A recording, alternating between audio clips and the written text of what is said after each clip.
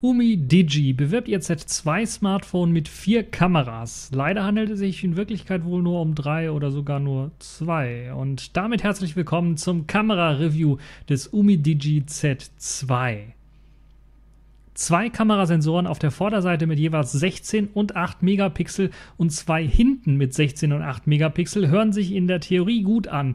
In der Praxis sind es aber wohl nur ein 16 Megapixel Sensor hinten, ein Fake Lichtsensor unter der zweiten angedeuteten Linse hinten, sowie eine hochgerechnete 8 Megapixel Kamera vorne mit einem ja vermeintlich 2 Megapixel Sensor für weiß der Geier was. Tiefen Infos scheint es allerdings nicht zu sein, weil dafür gibt es einfach keinen Modus. Das klingt nach einem Totalausfall. Nun ja, es ist einer, zumindest was das Marketing angeht. Wie die Hardware sich nun schlägt, lasst mich euch ein paar Fotos zeigen. Die Bilder, die das Umi Digi Z2 schießen kann, sind eigentlich für die Preisklasse von 200 bis 250 Euro eventuell so, je nachdem, vielleicht gibt es noch eine Aktion, dann wird das Ganze noch billiger und günstiger. Sicherlich nichts, was man verachten kann. Schauen wir uns ein paar Bilder zum Beispiel an, hier, die ich in Köln geschossen habe. Da sehen wir hier der Dom wunderbar. Wir sehen natürlich den HDR-Effekt auch, das heißt, es hat eine Möglichkeit, HDR zu machen. Und wir sehen auch, äh, ja, es ist eigentlich gar keine so schlechte Kamera, wie man eigentlich davon ausgehen könnte, gerade wenn ich ja über Fake-Kameras rede oder irgendwelche Sensoren, die eingebaut worden sind, die aber nicht in Wirklichkeit was machen. Da ist immer der Verdacht hoch, dass das ganze Gerät eigentlich Schrott ist und nicht für das ähm, Fotografieren geeignet ist. Das ist aber nicht so. Das ist. Äh, im Großen und Ganzen nicht so, sondern man kann gute Fotos damit schießen und äh, selbst mit so günstigen Smartphone-Kameras und Smartphone-Handys äh, lässt sich da natürlich ähm, äh, sehr viel machen. Der Teufel steckt natürlich wieder im Detail und das sieht man zum Beispiel bei den HDR-Aufnahmen, die ich in Köln gemacht habe. Ich habe HDR auf Auto gelassen. Es gibt zwei Möglichkeiten. Ähm, des Weiteren, also das komplett auszuschalten, was glaube ich die Standardeinstellung ist, oder es zu forcieren, einzuschalten. Die Autofunktion macht so ein bisschen ähm, Magie dahinter. Das heißt, an ähm, HDR an würde jetzt einen noch dramatischeren Effekt erzielen als HDR Auto, weil HDR Auto auch die Belichtung so ein bisschen und die Lichtverhältnisse mit einbezieht und dann eben das HDR-Bild äh, zusammenrechnet. Und äh, das hat halt nicht so einen dramatischen Effekt. Jetzt sehen wir hier, das Bild sieht im Grunde genommen gut aus. Okay, der Himmel könnte blauer sein. Das liegt aber einfach an dem Wetter, was gerade an dem Tag war. Und äh, ja, es hat das zumindest relativ gut abgebildet. Wenn wir uns den Dom anschauen, dann sehen wir, ja, okay, die Schärfe ist in Ordnung, es fehlen Details hier am Dom. Äh, man sieht auch so ein bisschen, ja, das ist, scheint so ein bisschen gemalt, das heißt, da ist ein Scharfzeichnungsfilter drin, aber das ist ja bei jedem Smartphone drin. Zur Seite hin wird es ein bisschen unscharf. Wir kriegen diese Effekte, dass hier der Baum wächst nicht wirklich so schief, sondern da ist es wirklich, oder die Mauer ist hier nicht wirklich so schief, sondern das ist einfach der Linseneffekt. Wir sehen auch hier ein bisschen was an Details geht verloren an den einzelnen Punkten. Die Leute sind noch relativ gut zu erkennen, die hier rumlaufen. Äh, wenn wir uns dann hier die Domspitzen anschauen, sehen wir schon ein bisschen einen seltsamen Effekt, der jetzt auch damit zu tun haben könnte, dass ich jetzt hier vielleicht Dreck auf der Linse hatte. Ich bin mir nicht hundertprozentig sicher, aber wir sehen, hier ist es relativ scharf, die Spitze, und die andere ist so ein bisschen als ob da wirklich so ein Dreckfleck drauf wäre und das, oder zumindest so ein unschärfer Effekt dann da drauf ist. Und das sehen wir auch hier so ein bisschen ähm, und an anderen Stellen. Und wir sehen hier zum Beispiel, sieht das ziemlich hässlich aus. Ich habe keine Ahnung, warum das jetzt hier so aussehen muss. Aber, und das sehen wir vielleicht auch hier, der HDR-Effekt hat halt so seinen Nachteil. Er hat eine ziemlich lange Verschlusszeit. Wir sehen jetzt hier die Verschlusszeit von 1 4300 Zehntelstel der Sekunde. Das ist aber wohl nicht so der Fall. Wir sehen hier ganz einfach die drei oder zwei Bilder, die es geschossen hat für den HDR-Effekt an der Person hier zum Beispiel. Das ist halt sein, sein Bein, was da sich bewegt hat. Also so solche Motion-Blur-Effekte kriegen wir auf jeden Fall bei den HDR-Fotos. Das haben wir jetzt an der Stelle von einem äh, Menschen. Das haben wir natürlich auch noch krasser bei fahrenden Autos. Das sehen wir hier zum Beispiel, wo das äh, zweite Bild ganz einfach hier äh, das Auto schon ein ganzes Stückchen weitergefahren ist. Und wir sehen hier noch, äh, äh, das heißt, es schießt wahrscheinlich drei Bilder. Das ist so die Vermutung, die ich habe, um diesen HDR-Effekt zu erzielen. Dann aber kriegen wir auch eine ordentliche Schärfe hin. Auch hier jetzt in dem Fall ist das hier, verlieren sich so ein bisschen die Details dran, das kann man durch, durchaus schon sehen, aber hier sind die Details doch recht ordentlich erkennbar für eine 16-Megapixel-Kamera, äh, die, glaube ich, ein Sony-Sensor sein soll, so wie ich das sehe. 3,5 mm äh, Länge hat es jetzt, Fotolänge. Ich weiß jetzt nicht, wie viel das umgerechnet ist auf die 35. Kann ich das hier vielleicht einschalten, ähm, um das mal zu sehen? Ich bin mir nicht sicher, ob das hier eine Umrechnung, ob es in den EXIF-Daten umgerechnet wird. Sieht mir nicht danach aus. Ähm, schade. Muss man ganz ehrlich sagen, es gibt hier noch Metering Mode. Das ist interessant. Das schalte ich mal ein. Und wir sehen aber auf jeden Fall äh, reichlich Informationen hier zu äh, der Kamera selber. Ihr müsst euch nicht wundern, dass bei Manufacturer A-Gold steht. Irgendwie ist das wahrscheinlich UmiDGs Privatmarke oder sowas. Das heißt auch irgendwie auch, dass, dass das Gerät selber heißt, glaube ich, nur irgendwie A-Gold oder irgendwie so. Nun ja, wir sehen das Modell Z2, das stimmt auf jeden Fall. Wir sehen hier auch wieder die äh, Exposure Time, ähm, die nicht so richtig stimmt, also die, die äh, Belichtungszeit, weil wir ein HDR-Foto gemacht haben. Da ist irgendwie, weiß ich nicht, was er da gemacht hat. Hat wahrscheinlich alle irgendwie zusammengerechnet und dann daraus dann die EXIF-Daten rausgezogen. Ja, ansonsten, was kann man dazu sagen? Also Kontrastverhältnis, äh, Schärfe, das macht es natürlich alles, zieht das alles ein bisschen nach. Aber man kann wirklich gute Fotos damit machen für die Preisklasse auf jeden Fall gut. Hier sehen wir mal den Pegelstand von Köln, weil das ist wirklich so ein trockenes, äh, heißes Wetter. Das hält man auch allzu lange in der Sonne gar nicht aus. Deshalb war ich froh, dass an dem Tag das Ganze ein bisschen was bewölkter war, wo ich dann Fotos machen konnte. Wir sehen hier, die Schärfe ist ziemlich gut. Wir sehen den Pegelstand, der ist doch vom Rhein ziemlich niedrig, wie wir sehen können. Ähm, und äh, wenn ich mich nicht recht irre, 1,40 Meter kann das sein. Oder wird das andersrum gelesen? Ich weiß es nicht. 4,10 Meter. Ähm, ziemlich, ziemlich niedrig. Auf jeden Fall sehen wir hier im Hintergrund auch, äh, ja, teilweise ein Unschärfe-Effekt, aber wir sehen hier auch den Linseneffekt, der natürlich dazu sorgt, dass wir hier einen schiefen Turm haben. Wir hatten mal einen schiefen Turm in Köln. Durch die KVB-Bahnhaltestelle hat sich ein Turm geneigt, aber nee, der ist eigentlich ganz gerade. Das heißt, hier haben wir diesen Linseneffekt, ähm, den man deutlich auch sehen kann. Aber das macht nichts, das hat jede Smartphone-Kamera und bei der Preisklasse bin ich froh, dass man überhaupt so gute Fotos hinkriegt. Und auch hier, selbst wenn ich auf 100% gehe, das sieht richtig gut aus die Farben sind jetzt nicht gekünstelt, ja, teilweise, ja, vielleicht doch so ein bisschen gekünstelt, aber nicht so überstark gekünstelt, sondern die sind wirklich, also die sehen wirklich so aus, die Figuren auf dem Platz, also so ein bisschen verdreckt und hier an der Seite. Ja. Aber man kann die Details erkennen und das ist, glaube ich, ziemlich äh, ordentlich, was die Kamera da leistet.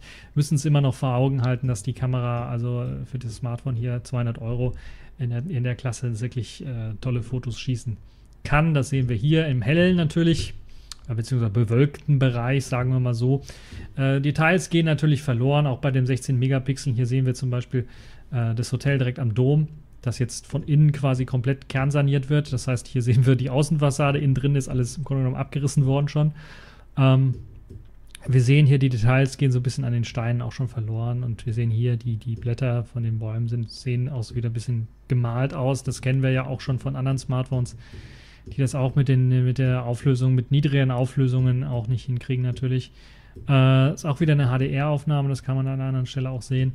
Ähm, ansonsten bin ich eigentlich zufrieden im Hellen mit diesen Aufnahmen. Das kann man, das kann sich durchaus sehen lassen und ähm, die meisten Leute werden ja sowieso die Fotos so anschauen und vielleicht ein bisschen was reinzoomen, aber nicht so am PC groß das Ganze dann jedes Mal anschauen. Das Einzige, was mich so ein bisschen gestört hat, sind so ein paar Probleme die nicht hätten sein sollen. Beispielsweise bei Nahaufnahmen, wenn ich jetzt auch HDR-Modus auf Auto gestellt habe, sollte es halt nicht dazu kommen, dass es halt hier, na gut, die, die hat sich wahrscheinlich das Blatt im Wind bewegt und deshalb halt diese Unschärfe reinkommt ähm, und dieser Ghosting-Effekt dann halt hier kommt, das, ist, das muss nicht sein. Das, äh, da gibt es schon bessere Möglichkeiten, die dann erkennen, okay, Makromodus oder sowas, dann brauchen wir vielleicht HDR nicht, machen wir den aus oder so.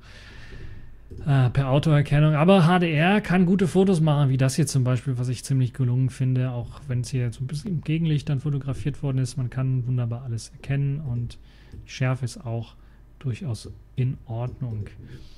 Man kann auch einen Bokeh-Effekt hinkriegen, das sieht man jetzt hier und da sieht man auch nochmal ganz genau, wie heiß es hier in Köln ist, diese Liegewiese. Äh, wie es hier steht, äh, ist im normalen Fall ist sie grün. Und ich meine, ich habe schon mal ein Kamera-Review gemacht, wo ich die euch gezeigt habe, da war sie grün und hier ist sie also komplett, also ah, sehr, sehr schlecht aus. Ich weiß auch nicht, ob die sich noch erholen wird von diesem Sommer. Nun ja, wir sehen den, den, den Blur, den Bokeh-Effekt hier im Hintergrund. Also das habe ich schön, schön scharf gestellt und wir sehen hier von der Schärfe her, ja, das stimmt soweit. Äh, Details hier zum Beispiel dieser Schraube oder Niete oder was auch immer das sein soll, was da so ein bisschen aufgeplatzt ist, sind zu erkennen. Auch hier so ein bisschen, hier wird es ein bisschen was unschärfer nach unten hin, äh, aber der Fokus lag tatsächlich auf die Schrift, auf der Schrift. Und wir sehen ja, Book-Effekt, das geht, also die Unschärfe ist äh, zu erkennen. Äh, hier ganz deutlich, natürlich je näher an man so an ein Objekt rankommt, desto besser ist das Ganze natürlich auch. Ähm, was können wir uns noch anschauen? Also im Hellen sind die Lichtaufnahmen gut. Farblich gesehen, ja, wir haben jetzt das Grün hier gesehen. Wie sieht es mit Rot aus? Da scheiden sich ja so ein bisschen die Geister. Da muss man sagen, na, das gelingt einem nicht. Jetzt habe ich das hier auch in der prallen Sonne mal fotografiert. Und wir kennen das vielleicht schon von dem BlackBerry Key 2 Kamera-Review. Ähm, da sah das Ganze anders gefärbt aus, viel roter. Hier ist das halt so ein bisschen, ja, es geht da so mehr in dunkles Rosa, würde ich mal fast schon behaupten. Und das gefällt einem nicht so ganz. Man sieht den das Scharfzeichnen, der Scharfzeichnungsfilter. Schön ist allerdings, dass man, dass das nicht so wie gemalt aussieht. An der einen oder anderen Stelle passiert das halt. Hm, hier eventuell, aber da wird es auch wieder schon ein bisschen unscharf. Ähm, hier auch so ein bisschen. Wir sehen hier das Bokeh jetzt mal auch so, ja, das sieht ziemlich ordentlich aus, ziemlich rund. Das kann also sich durchaus sehen lassen, nur die Farben, die passen halt nicht. Also das hier ist normalerweise eine richtig knallig rote Pflanze, äh, Blume und nicht so ins äh, dunkelrosa, glaube ich, heißt die Farbe, äh, einhergehende. Ähm, ansonsten Auflösung und äh, was man so sehen kann von der Schärfe, ja, das könnte noch ein bisschen ein Ticken was schärfer sein. Hier alles, was man hier sehen kann an dieser, an dieser Knospe beispielsweise, das könnte durchaus noch ein bisschen Ticken schärfer sein, aber Details sind durchaus zu erkennen. Das sind natürlich auch durch den 16 Megapixel äh, sicherlich äh, sind auch denen zu verdanken, dass man die Details so erkennen kann. Äh, Autofokus hat so ein bisschen ein paar Probleme gemacht. Ich habe hier versucht, auf diese Pflanze zu fokussieren und hat wunderbar den Hintergrund scharf gestellt, aber nicht die Pflanze. Und das nächste Foto ist nochmal hier Versuch und äh, zweiter Versuch, das gleiche Problem. Letzten Endes habe ich es dann doch geschafft, indem ich dann auf die auf das hier fokussiert habe, auf diesen Bereich fokussiert habe. Und dann hat er mir hier die Pflanze auch wirklich scharf gemacht. Und muss ganz ehrlich sagen, das sieht ziemlich gut aus. Das sieht besser aus teilweise als das BlackBerry ähm, Key 2, das ja deutlich teurer, äh, teurer ist. Und ähm, zum einen ist die Auflösung natürlich hier größer, aber zum anderen sehen wir äh, wenige Artefakte rund um diese, diese Blätter, die wir hier haben. Äh, wir sehen keinen äh, allzu deutlichen Scharfzeichnungsfilter. Also es gibt hier immer noch einen Scharfzeichnungsfilter. An der Stelle sieht man es vielleicht auch so ein bisschen. Aber es ist halt, es wirkt natürlich und auch hier sieht man das ganz deutlich. Also da haben wir keine Artefakte rund um die Blätter. Äh, das wirkt alles ziemlich, ziemlich ordentlich. Für die Kamera, für diesen, für dieses Preis-Leistungs-Verhältnis ist das sicherlich ein, ein durchaus brauchbares Bild. Auch hier unten, naja, da gehen die Details so ein bisschen verloren, aber wir haben ja auch hier drauf fokussiert. Das ist also durchaus schon äh, zu gebrauchen und wir sehen auch den Hintergrund schön scharf, äh, schön unscharf. Können aber hier auf der weißen Wand auch so eine Art Muster erkennen hier. Ich weiß nicht, ob ihr das erkennen könnt, so ein bisschen. Das sieht so aus, als ob hier ja, einer so einen äh, Mathematik-Notizblock äh, mit eben diesem Raster, den typischen Raster rausgerissen hat. Und äh, das ist so ein Problem, was häufiger auftaucht, gerade bei dunkleren Bildern. Da sieht man das ganz, ganz deutlich. Wir haben jetzt hier zum Beispiel mal eine Innenaufnahme bei künstlichem Licht. So sieht das noch einigermaßen in Ordnung aus. So sehen wir, es ist ein bisschen unscharf und wir sehen hier dieses Muster auch. Das zieht sich über das ganze Bild so ein bisschen. Und es ist, ich vermute, ein, ein Rauschmuster, weil wir sehen hier auch äh, Probleme mit dem Rauschen, also wirklich Farbrauschen. Äh, und ja, schade eigentlich. Das sehen wir an der anderen Stelle hier auch nochmal so ein bisschen, dass das hier sich so wie so ein Schachbrett über das Bild so ein bisschen legt. Die Schärfe ist in Ordnung, aber dieses, dieses ja, Rauschmuster darüber ist, gefällt mir nicht so ganz. Das heißt, im Dunkeln kann man es fast schon vergessen, würde ich sagen, mit der Kamera ordentliche Fotos zu machen. Also ist jetzt so halbdunkel. Ihr seht, so sieht das noch in Ordnung aus. Zoome ich so ein bisschen rein wird das schon ein bisschen was matschiger an den Seiten. Das heißt, hier haben wir so ein bisschen Rauschen und Schärfe geht verloren. Aber es ist äh, immer noch in Ordnung. Also das kann sich durchaus noch sehen lassen. Da habe ich schon Schlechteres gesehen. Das muss ich ganz ehrlich auch zugeben. Ja, in etwas noch dunkleren Verhältnissen wird es dann mit dem Rauschen schon ganz stark. Hier ist kein Dreck auf, dem, äh, auf dieser Uhr drauf, sondern das ist tatsächlich das Rauschen, was wir hier sehen. Ähm, bei, lasst mich nicht lügen, hat hier sogar ein Dreizehntel Sekunde das Ganze genommen. Dafür hat es das relativ scharf hinbekommen. Das heißt, es hat wahrscheinlich für Fotos doch irgendwie eine Art äh, Fotostabilisierung drin, äh, wenn auch nur vielleicht digital. Ansonsten sehen wir ISO bei fast 3000 und das sorgt halt eben für dieses starke Rauschen.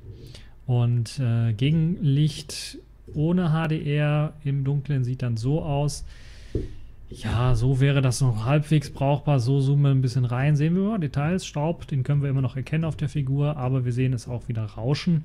Und äh, ja, aber schön, schönes er hinbekommen. Hier sind ein bisschen unscharf. Nun ja, wir haben hier auch ein ISO von äh, nur 380, was natürlich dann für weniger Rauschen sorgt.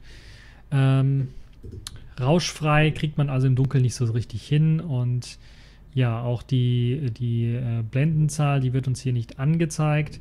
Äh, ob die dann stimmt, was der Hersteller da angibt, das äh, kann jeder selber dann für sich äh, versuchen herauszufinden. Ich traue dem Hersteller nicht ganz so zu, weil er hat schon in der Vergangenheit ein paar Mal gelogen. Was soll man dazu großartig noch sagen? Ja, schauen wir uns ein paar Videos noch an. Äh, ich habe da mal eine Aufnahme gemacht und äh, eine Tonaufnahme, die können wir uns anhören. Und man muss ganz ehrlich sagen, ja, das Bild ist in Ordnung, die Schärfe geht in Ordnung. Wir haben ein ordentliches Bild, der Ton hört sich gut an, auch im Hintergrund. Natürlich hat er jetzt hier Lautsprecher, da kann man es auch gut verstehen. Man hat im Videomodus auch die Möglichkeit, die Helligkeit hoch und runter zu drehen, was sicherlich auch eine gute Sache ist. Aber man merkt an der einen oder anderen Stelle schon, es ist kein Videostabilisierer mit drin und das merkt man auch beim nächsten Video, wo ich einfach mal rumgelaufen bin, nichts gesagt habe, einfach nur gelaufen bin und mal eine Foto, eine Videoaufnahme gemacht habe. Da sieht man, dass das ganz schon äh, wackelt. Ja, wie sieht's aus mit der Selfie-Kamera? Gehen wir nochmal hoch und ich habe ein Selfie geschossen. Äh, äh, das war irgendein Versuch von mir, keine Ahnung warum ich so doof reingeguckt habe. Das ist wahrscheinlich so äh, mein Fazit von den Selfies. So sieht das noch, sieht es auch schon unscharf aus und wenn ich reingehe, dann sieht man auch so ein bisschen, ja, das ist schon unscharf. Ähm, ist die Selfie-Cam deshalb nicht zu gebrauchen, das stimmt nicht ganz. Äh, ist einfach nur geschuldet dem Ganzen, dass wir hier bei ISO 1719 sind und das Ganze einfach zu dunkel ist. Und ich vielleicht auch ein bisschen zu nah dran war. Wenn man ein bisschen weiter weggeht, ist das Ganze dann doch äh, durchaus noch ertragbar. Und das sieht man jetzt auch im nächsten Video, was ich euch zeigen kann, äh, wo ich das Ganze mit der Selfie-Cam aufgenommen habe. Mm, und äh, ja, dann sind wir im Grunde genommen auch schon durch, äh, was das Ganze angeht. Äh, und äh, der Umidigi äh, Z2 Kameratest. Äh, hören wir uns erst einmal an, was ich zum, zur Selfie-Cam zu sagen habe und dann mache ich noch ein Video mit der rückwärtigen Kamera, wo ihr dann auch so ein bisschen reinschauen könnt. So, das ist jetzt mal eine Aufnahme mit der Frontkamera des Umidigi Z2s und äh, ihr seht so ein bisschen, ich bin ein bisschen was dunkel, wenn ich ins Licht komme, wird es ein bisschen was besser, aber die Helligkeit, die springt so ein bisschen. Ich weiß nicht, was das Umidigi da macht, aber es ist halt, es neigt dazu zu springen wie verrückt. Äh, ich hoffe, die Audioqualität ist gut. Ich halte das jetzt hier an der Stelle, wo normalerweise ein Mikrofon ist. Ich habe also keine Ahnung, wenn ich es vielleicht an einer anderen Stelle halte. So ist vielleicht die Audioaufnahme besser, äh, aber es wackelt wahrscheinlich. Zweite Aufnahme übrigens, weil die erste hat dazu geführt, dass das Umidigi gecrashed ist. Und das passiert mir häufiger, nicht nur bei der Kamera, sondern oder bei Videoaufnahmen der Kamera, sondern auch so allgemein im System. Das System einfach mal sagt, ja, ich starte einfach mal neu. Ansonsten ist es sehr stock Android-lastig, gibt wenig anzustellen an der ganzen Geschichte. Ich kann jetzt hier zum Beispiel nur pausieren und stoppen. Das war es auch schon, aber ich würde mal sagen, ja, von der Qualität her vielleicht in Ordnung, aber dieses Springen jedes Mal, wenn der Sensor meint, ja, jetzt hat die Helligkeit sich geändert, ist halt richtig, richtig nervig und richtig ärgerlich. Ähm, ja, und was soll man dazu noch sagen? Also mir fällt da nicht mehr vieles ein. Schauen wir uns gleich nochmal die Rückkamera an. So, das ist nun die rückwärtige Kamera und die sieht ein bisschen dunkel aus, wie ihr hier sehen könnt. Das liegt einfach daran, weil von da das Licht reinkommt und anders als die Frontkamera wird halt eben das Gesicht nicht heller gemacht. Das heißt, ich muss mich jetzt zum Licht hinstellen, sodass das Licht mir quasi aufs Gesicht scheint, damit ihr mich auch sehen könnt. Das ist aber eine gute Möglichkeit, auch mal einen Test zu machen, ob der Phasenautofokus gut funktioniert. Hier haben wir den R2D2 direkt quasi vor die Kameralinse gehalten und jetzt wieder mein Gesicht und es sollte eigentlich scharf stellen. Eventuell seht ihr auch noch meine Hand oder Teile von meiner Hand hier, die da versuchen ins Bild reinzukommen. Das liegt einfach daran, dass ich es mit einer Hand festhalte. Und ähm, ja, es wird wahrscheinlich ein bisschen was wackelig sein, weil es gibt keinen optischen Bildstabilisator und einen elektronischen auch nicht so wirklich. Zumindest habe ich keinen richtig festgestellt. Das heißt, wenn ich mich so ein bisschen was schneller bewege hin und her, kann es schon durchaus vorkommen, dass es anfängt ordentlich zu wackeln. Das ist natürlich nervig, aber für die Preisklasse 200 bis 250 Euro durchaus noch mh, hm, ertragbar. Audio macht ja auch so ein bisschen sehr viel aus, was Videos angeht. Und die Videoqualität ist mit Full HD durchaus in Ordnung. Die Farben sind in Ordnung. Die, ähm, die, die Aufnahme lässt sich nachhinein ähm, nicht mehr richtig so bearbeiten, aber während der Aufnahme lassen sich zum Beispiel sowas wie Helligkeit noch einstellen. Wenn ihr zum Beispiel in die Sonne reinfilmen wollt, könnt ihr dann nochmal schnell hochdrehen, damit ihr den Vordergrund dann halt eben auch wieder schön äh, ja, in, der richtigen, äh, in der richtigen Helligkeit habt. Ansonsten, was lässt sich dazu sagen? Für 200 bis 250 Euro durchaus in Ordnung. Die Audioqualität ist gut, äh, die das ganze Gerät aufnimmt. Und man kann wunderbar auch mit der Lautstärke-Taste äh, das Video starten und stoppen, was natürlich bei dieser Situation, wo ich mich selber nicht sehe und den, den Software-Button sowieso nicht drücken kann, sicherlich eine tolle Geschichte ist. So, mein Fazit zu UmiDigi Z2. Sieht so aus, äh, für 200, für 250 Euro kann man keine Wunder erwarten. Es ist traurig, dass Umidigi da immer noch, ja, ich würde von Betrug reden, wenn einem in der Werbung gesagt wird, da gibt es vier Kamerasensoren. In Wirklichkeit stellt sich raus, äh, da sind wahrscheinlich nur drei drin. Und ja gut, man kann immer argumentieren, dass so ein Lichtsensor oder sowas da auf der Rückseite dann auch noch als Kamerasensor durchgehen würde, aber der wird ja gar nicht benutzt. Also man kann das Loch zuhalten und es passiert nichts. Auf der Vorderseite wird zumindest gesagt, okay, das Loch wird zugehalten. Äh, aber der Bokeh-Effekt beispielsweise ist rein softwaretechnisch berechnet, deshalb habe ich euch überhaupt nichts davon gezeigt, weil das könnt ihr euch vorstellen, da wird einfach nur äh, ein Loch quasi gemacht, der Rest wird, äh, also um ein Kreis, im Kreis ist es scharf und der Rest wird unscharf gemacht, ist äh, komplett für die Katz, kann man wegschmeißen.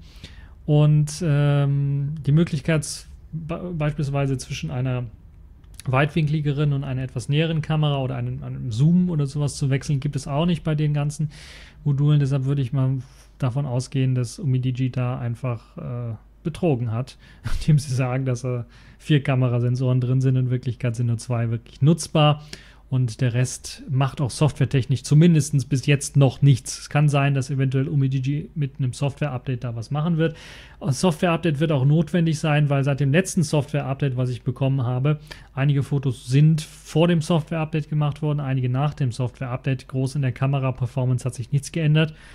Äh, ist, dass das Gerät häufiger mir abschmiert. Nicht nur in der Kamera-App, sondern allgemein. Einfach mal so sagt, okay, ich kann nicht mehr und starte dann einfach komplett neu. Ist natürlich ein No-Go dafür, aber das werde ich dann in meinem Review auch nochmal ganz deutlich sagen. Ansonsten, äh, was kann man dazu sagen? Für den Preis schießen diese Sensoren ordentliche Fotos und auch Videos äh, mit ordentlichem Ton, das muss man ganz ehrlich sagen.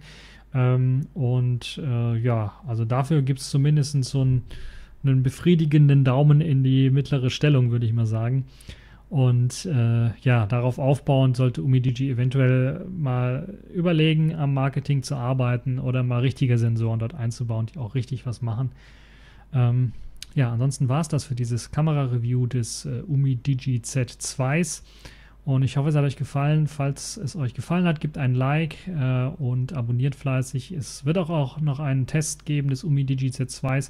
Ich hoffe, dass eventuell noch ein äh, Software-Update kommt, bevor der Test fertig geschnitten, fertig geschrieben ist, bevor der Test fertig ist, äh, damit eben dieses, dieses Negative mit dem Absturz da nicht jedes Mal reinkommen muss. Nun ja, das war's und bis zum nächsten Mal. Ciao.